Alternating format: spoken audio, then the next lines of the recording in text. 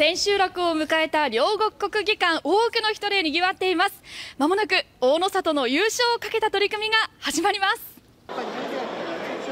優勝の瞬間を見届けようと地元津幡町の会場は大勢の人で溢れ返っています。地元の津幡町ではパブリックビューイングが開かれました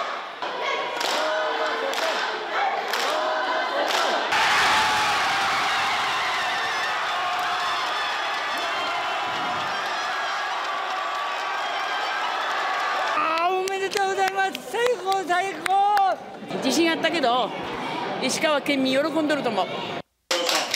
大野里が帰省した際によく訪れる地元の寿司店では。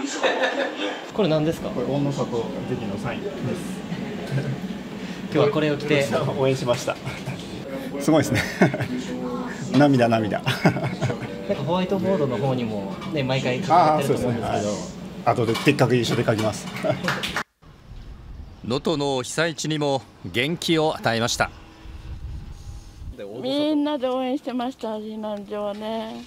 えー勇気づけられますよね、石川県の民としては。あの相撲はやっぱり力づけますね、私ら見とってもね、うん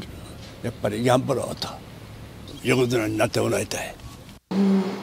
優勝の瞬間を国技館で見守った小学生時代の恩師は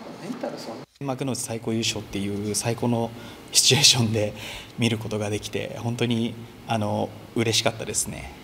グータッチでいつも相撲教室の、えー子が優勝するとやってるんですけれどもちょっとできないかなと思って近づいて腕を出すとやってくれました、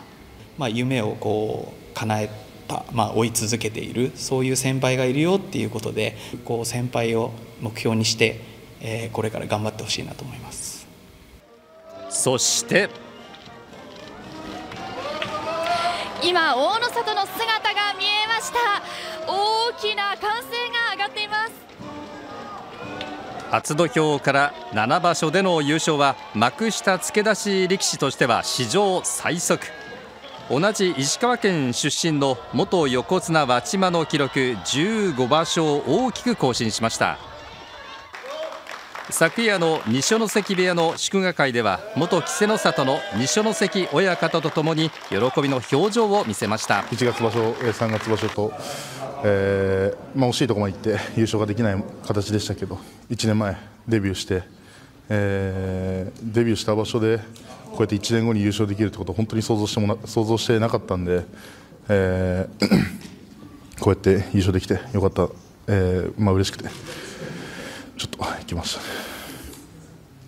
えー小さい頃からテレビで見てた、えー天皇賜杯を抱くことができて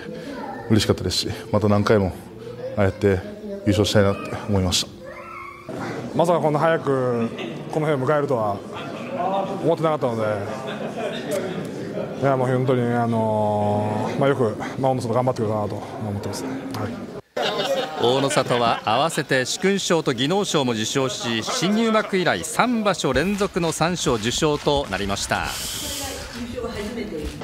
一方出ましたよ、どうぞ。はい、大野里優勝です。号外です。はい。金沢駅では号外が配られるなど早速大野里の優勝フィーバーに沸きました